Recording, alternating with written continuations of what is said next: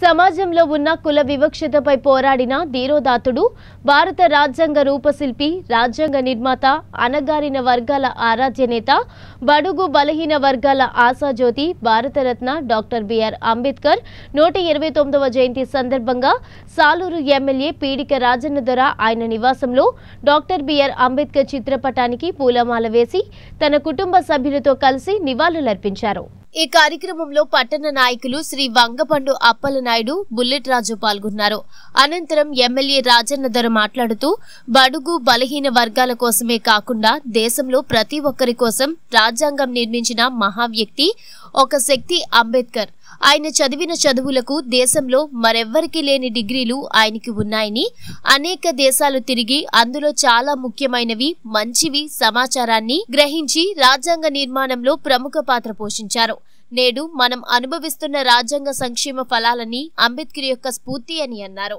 అంటే ఈ మహనీయుడికి రాజ్యాంగం రాయకపోతే ఎవరు దేని గురించి మాట్లాడతాం? అయితే రాజ్యాంగం రాసిన వ్యక్తి తాలూ రాజ్యాంగం అయితే అవసరం.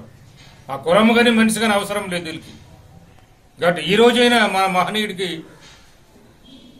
రాజకీయాలు పక్కన పెట్టి ఈ తెలుగుదేశం నాయకులు నిండు మనసుతో ఆరాధించాలని కోరుకుంటున్నాను నేను అసలు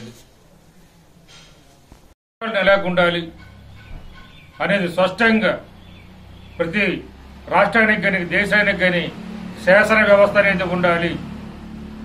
పరిపాలన వ్యవస్థ అనేది ఒకటి ఉండాలి. న్యాయ వ్యవస్థ అనేది ఒకటి ఉండాలి. స్పష్టంగా చెప్పిన వ్యక్తి ఆయన.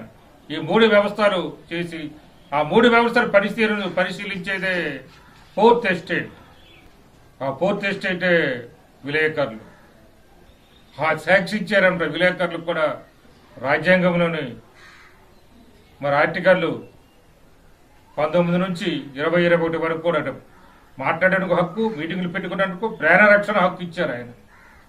దళితులకు పది ఆర్టికల్ పదిహేడు ప్రకారం అస్పృశ్యత నివారించారు. ఇలాగ అనేక హక్కుల నుంచి కాపాడిన వ్యక్తికి మరి ఇంకా మనం నిరాడంబరం చేయడానికి కేవలం ఈ కరోనా మహమ్మారి.